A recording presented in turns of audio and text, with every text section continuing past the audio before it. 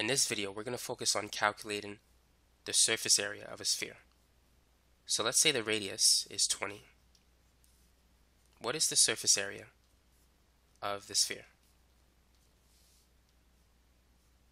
The formula to calculate the surface area is straightforward. It's 4 pi times r squared. So it's 4 pi times 20 squared. 20 times 20 is 400.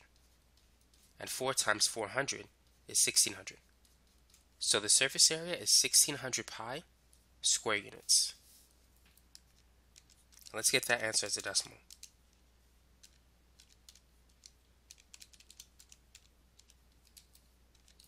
And so 1600 pi is equal to 5026.5 square inches.